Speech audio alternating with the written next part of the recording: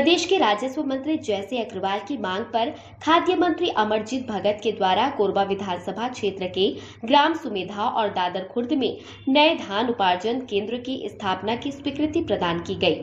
इन दो नए धान उपार्जन केंद्र का शुभारंभ मंगलवार को राजस्व मंत्री जय जयसे अग्रवाल ने किया। पहले सुमेधा केंद्र का शुभारंभ के बाद दादर खुर्द केंद्र का शुभारंभ किया गया। सुमेधा केंद्र में लाटा अगार खार केंदई खार सुमेधा सलिया भाटा नागिन भाटा कुमगरी, सेमीपाली के कुल आठ गाँव के कृषकों को सुविधा मिलेगी। वहीं दादर खुर्द केंद्र में दादर खुर्द खरमोरा, ढीलवटी, बरबसपुर, झगरहा नकटीखार गोढ़ी, पंडरीपानी करुमौहा बुंदेली, डुमरडी एवं मुस्लिडी सहित कुल तेरह गाँवों के कृषकों को सुविधा मिलेगी।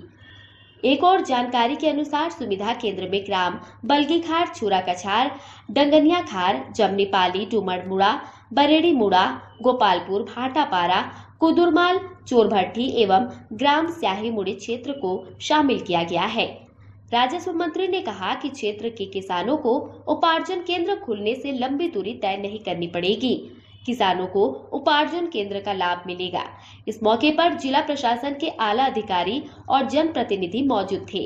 हमारे ग्रामीण भाई 25-25 किलोमीटर दूर जाके जो धान बेचने जाते थे, उनको आज गाँव में, आसपास के ग्रामीणों को भी इसका लाभ मिलेगा। तो बहुत ही कम दूरी में आके इस धान उपार्जन केंद्र में अपना धान बिक्री कर सकेंगे। बारदाने की थोड़ी समस्या दूर है लेकिन उसको दूर कर लिया जाएगा और आवश्यकता के हिसाब से व्यवस्था है और व्यवस्था कर ली जाएगी।